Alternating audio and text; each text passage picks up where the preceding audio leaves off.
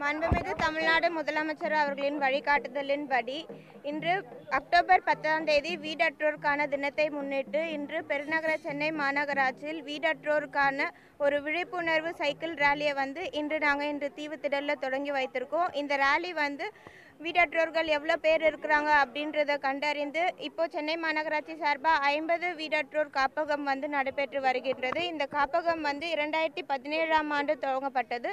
இந்த காப்பகம் மூலியமாக இது வரைக்கும் ஒரு லட்சம் பேருக்கு மேலே பயனடைஞ்சிருக்காங்க இப்போ சென்னை மாநகராட்சி சார்பாக ஐந்து காப்பகங்கள் நடைபெற்று வருகின்றது. இதில் வந்து ஏழு சிறுவருக்கான காப்பகம் மீதி எல்லாமே வந்து முதியோர்களுக்காக பெண்களுக்காக தனியாக ஆண்களுக்காக தனியாக அப்படின்னு காப்பகங்கள் நாங்கள் நடைபெற்று வருகிறது. இந்த காப்பகங்களில் வந்து மூணு வேலையும் அங்கே தங்கியிருக்கவங்களுக்கான உணவு என்ஜிஓஸ் கூட கனெக்ட் பண்ணி மாநகராட்சி சார்பாக நாங்கள் கொடுத்துட்டு வந்துட்ருக்கோம் அவங்களுக்கு தேவையான மருத்துவ சிகிச்சையும் நாங்கள் சென்னை மாநகராட்சி சார்பாக முன்வைத்திருக்கிறோம். எவ்ரி மந்த் மாதத்துக்கு ஒரு முறை வந்து சென்னை மாநகராட்சி சார்பாக இந்த காப்பகங்களில் வந்து மருத்துவ முகாம்களும் நடைபெற்று அவங்களுக்கு தேவையான சுகர் டேப்லெட் பிபி டேப்லெட் இது போன்ற டேப்லெட்களும் நாங்கள் ப்ரொவைட் பண்ணிட்டு வரோம்.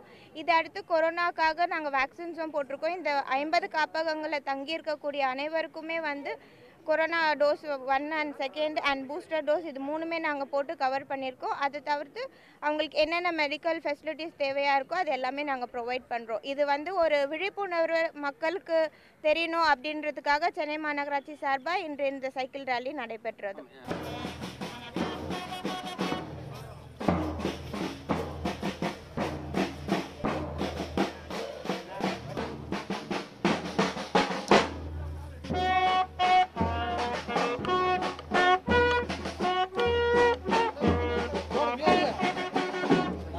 Uh, welcome our uh, group from the shelter to perform for the mayor.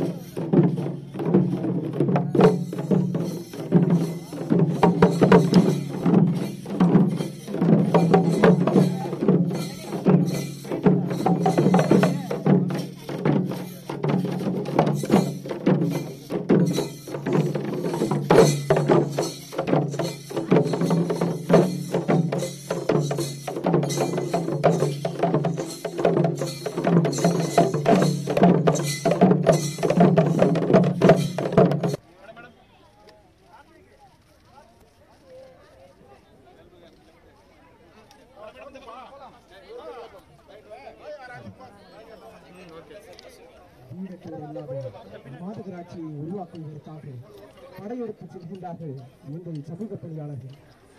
உலக வீடத்தோர் தினத்தை முன்னிட்டு சாலை ஓரங்களில் வசிப்பவர்களுக்கும் ரயில் நிலையங்களில் வசிப்பவர்களுக்கும் ஆதரவற்றவர்களுக்கும் ஆதரவை கொடுப்பதற்காக நாங்கள் இருக்கிறோம்.